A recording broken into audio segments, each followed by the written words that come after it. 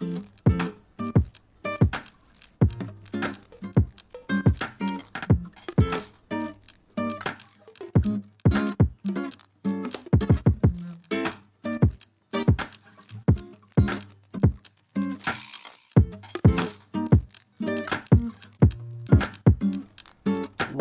to the Daily Word of God with Anthony.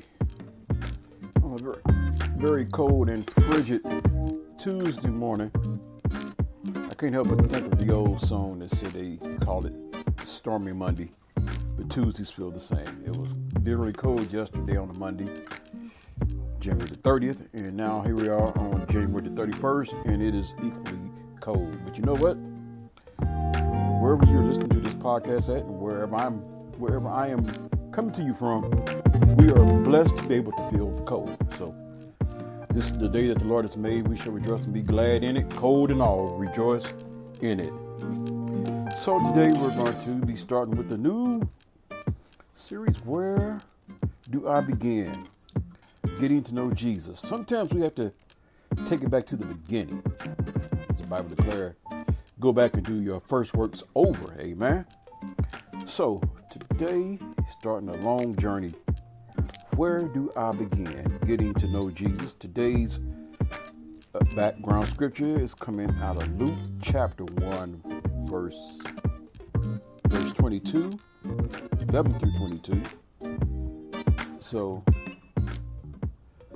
let's just go ahead and dive into this word and dive into the first installment of Where Do I Begin Getting to Know Jesus?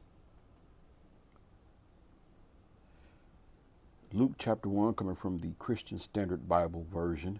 An angel of the Lord appeared to him standing to the right of the altar of incense. When Zachariah saw him, he was terrified and, over, and overcome with fear. But the angel said to him, Do not be afraid, Zachariah, because your prayer has been heard. Your wife Elizabeth will bear you a son, and you will name him John. There will be joy and delight for you, and many will rejoice at his birth. For he will be great in the sight of the Lord, and will never drink wine or beer. He will be filled with the Holy Spirit while still in his mother's womb. He will turn many of the children of Israel to the Lord their God, and he will go before him in the spirit and power of Elijah, to turn the hearts of fathers to their children, and the disobedient to the understanding of the righteous to make ready for the Lord a prepared people. How can I know this? Zachariah asked the angel. Says, For I am an old man, and my wife is well along in years. The angel answered him, I am Gabriel, who stands in the presence of God, and I was sent to speak to you and tell you this good news. Now listen. You will become silent and unable to speak until the day these things take place because you did not believe my words, which will be fulfilled in their proper time. Meanwhile, the people were waiting for Zechariah, amazed that he stayed so long in the sanctuary. When he did come out, he could not speak to them. Then they realized that he had seen a vision in the sanctuary. He was making signs to them and remained speechless. Today, we're going to talk about ordinary people. Answer this When was the last time you've been discouraged and felt like you didn't have anything to offer anyone? So, after walking into the temple to perform his duties as a priest, Zachariah encounters an angel named Gabriel who had a message for him from God. Angels can be pretty intimidating. Throughout the Bible, men would tremble at their sight. This explains for, explains why the first thing angels often said when appearing to someone was, "Do not fear."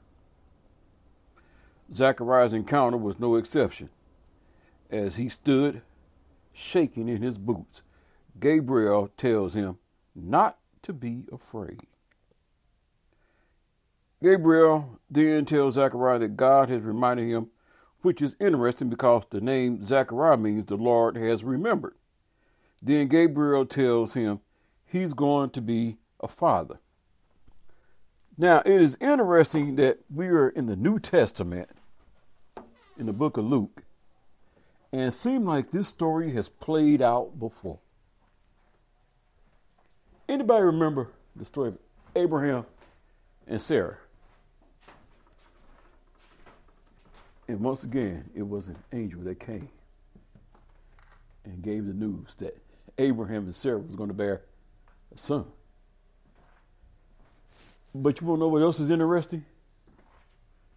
There was also some scoffing and some unbelief. But we'll get into that. He would be no ordinary father, though. Zechariah would be the father of John the Baptist. And John the Baptist would later turn people back to the Lord their God. Zechariah's son was going to introduce people to someone who would change their hearts and forever change the course of history. It was astonishing news to say the least. I imagine it was also astonishing to Abraham and Sarah as well too. Because the same thing John said was the same thing Abraham and Sarah had said. Zechariah had prayed for years to have a child. Now, here, here it is right here. In his old age, he's being told by an angel that he'll have a son. On top of that, he was going to have a son with a woman who was long past her childbearing years. Now you really get to stopping and thinking, how can this be so? I'm an old man, and this woman is just as old as I am, way past her childbearing years. Does this not sound like Abraham and Sarah? Well, I tell you what I'm going to do before I conclude this. I'm going to take a break. And when I come back, I will definitely bring this to a conclusion. So stay tuned to In the Daily Word of God with Anthony. I will be back for the conclusion of this devotion.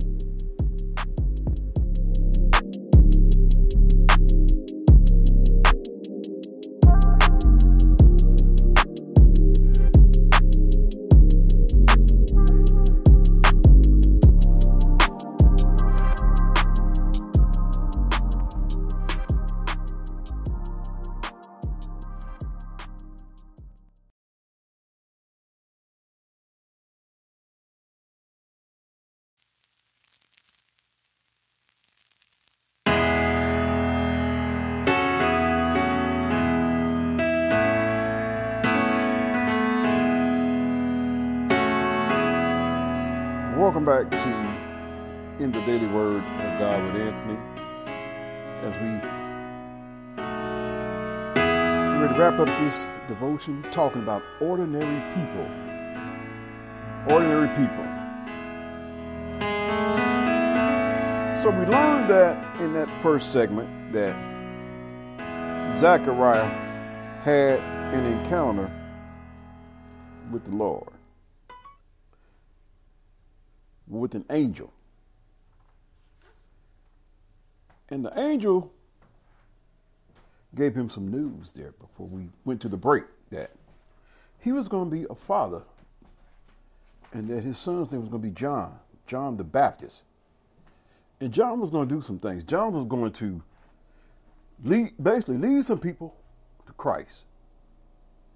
And this Savior was going to change their life in the course of history forever. But the news didn't quite sit well with Zechariah, kind of like it didn't sit well with Abraham and Sarah. So much so, if you remember the story about Abraham and Sarah, how Abraham got impatient and wanted to do God's work. You know, isn't it funny how God tells us something, and we, we know God is a is, he, he, he's a man that he cannot lie, nor should he have to repent. But yet, we doubt God, and I say we, because we all deal with doubt from one time to the other. And then when God doesn't move in a certain time according to our time frame, we like to uh, try to do his work. Can I tell you something? We can't do God's work. We can barely do our own work, let alone try to do His work. But yet we have seen God make prom- promise of something and has kept His promise in our lives. We just have to develop some patience and let Him do. Matter of fact, songwriter said like this. My daddy used to sing this song. He says, "You can't hurry God. You have to trust Him and give Him time." He said, He may not come when you want him, but He's always on time. So when Zechariah expressed doubt about whether he and his wife could have a child together, Gabriel is offended. Hmm, imagine that. Gabriel is offended that the good news he just delivered is received with disbelief. So Gabriel scolds Zechariah and disciplines him by temporarily taking away his ability to speak. See, be careful. Now, this, this is the angel of the Lord that's offended by Zechariah's unbelief. But let me pose this question How many times do we offend the Lord God by not believing Him and, and doubting His word? Something to think about. So Zechariah got in trouble because he doubted God. In essence, questioning how could God possibly use my wife and me? When I said earlier about doing God's work, if you remember, Abraham, in his impatience, decided to have a child with his maid. And it caused friction in the home sometimes when we try to do God's work, it causes friction in the home and in the body of Christ because now we're out of order with God's plan.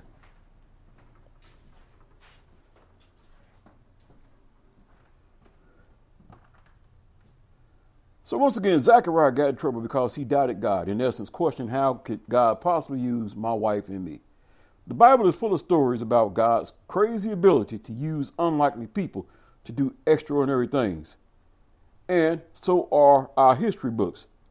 People like Abraham Lincoln, raised in poverty, multiple political failures, 16th U.S. president.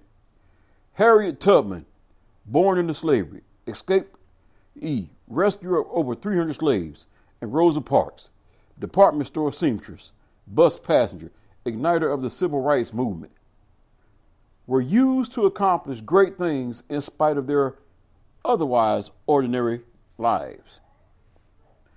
God accomplishes great things through ordinary people to remind us He deserves credit for anything we accomplish. So, what does this mean for me? We shouldn't get discouraged about our perceived lack of abilities, opportunities, or achievements because no one is too ordinary for God to use nor should we brag about what we do have, because every talent we possess, every success we attain, and every opportunity we're given comes only from our Heavenly Father. So, what I want to do is close us out in prayer.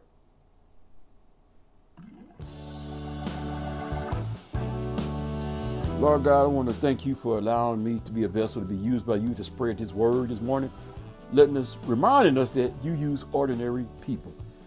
Not no one with great titles, not no one in high positions, but ordinary people like me and those who are listening to this podcast. And Lord, thank you for reminding us that anything that we accomplish is because of you. And that all we have to do is just be in the way for you to use us. Thank you for this the day that you have made, and we shall rejoice and be glad in it. Give us the strength to make it throughout this day. Let us be a light, for you said in your word, let your light so shine before men that they may see your good works. Glorify the Father which is in heaven. These and other blessings we ask in the mighty name of Jesus. And all those who listen said, Amen, Amen, and Amen. Once again, ordinary people, I want to thank you for listening to this podcast. If it's a blessing to you, don't just hoard it up for yourself. Share it. Let it be a blessing to someone else. Until the next time. As I always say, I got this from a friend of mine on her voicemail. Be blessed and be a blessing. Until the next time.